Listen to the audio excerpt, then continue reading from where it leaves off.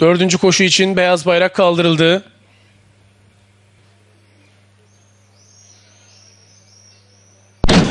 Start verildi ve koşuda başladı sayın yarışseverler. Çıkıştan sonra 2 numaralı Naldo Kendi Gakkoş 3 boy kadar geride kaldı. 12 numaralı Tanseli de 2 boy gecikti.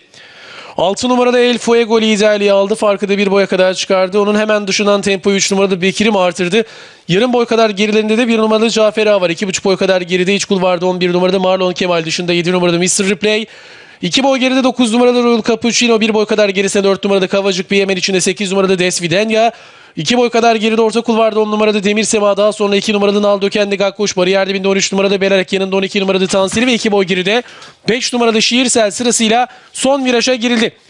6 numarada El Fuego son viraja lider girmeyi başardı. Hemen dışında 3 numarada Bekir'im var. Bariyer dibinden 11 numarada Marlon Kemal. 1 boy geriden 9 numarada Royal Cappuccino onlara katılmaya çalışıyor. Daha geriden 4 numarada Kavacık Bey'in ve 1 numarada Cafer Ağa'nın da ataklarıyla son 200 metreye doğru yaklaşıyor. Şimdi pistin dışından 4 numarada Safkan atağa kalktı. 4 numarada Kavacık Bey'i yaptığı ataklarla 11 numarada Marlon Kemal'i yakalamaya çalışıyor. Ve daha geriden 1 numarada Cafer Ağa'nın da gayretli veren 11 numarada Marlon Kemal önde orta kulvardan 4 numarada Kavacık Bey geliyor. Son yüze girilirken Marlon Kemal önde dışarıdan 4 numarada Kavacık Bey geliyor. Marlon Kemal'i yakalıyor. Geçiyor kazanıyor.